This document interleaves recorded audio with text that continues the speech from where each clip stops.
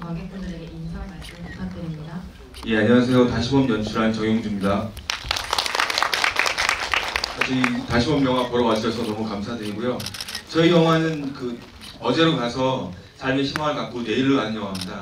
그 내일 아침에 일어나셔서 저희 영화의 한 장면 이렇게 떠올리시면서 기분 좋게 시작하셨으면 좋겠습니다. 감사합니다. 네, 안녕하세요. 영화 다시 봄에서 은조 역할을 맡은 이청아입니다. 반갑습니다. 혹시 이 중에 오늘 저의 라방을 보시고 예매를 하신 분도 계신가요? 아, 나도 보고 왔어요. 저희 인친분들. 네, 저희 영화 다시 보면요. 정말 어, 따뜻한 감성 힐링 무비라고 얘기를 드리고 싶어요. 저도 오늘 이제 쭉 인터뷰를 하고 왔는데 어, 보신 기자님들도 어, 굉장히 좀 이렇게 나의 오늘에 대해서 다시 생각할 수 있어서 좋았다라는 얘기를 많이 해주시더라고요. 보고 나서 저희 SNS나 이런 데 많이 많이 홍보도 해주시고 주변에 입소문도 많이 내주세요. 감사합니다.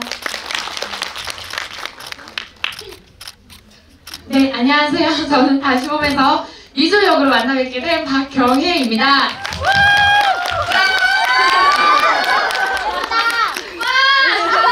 네, 감사합니다.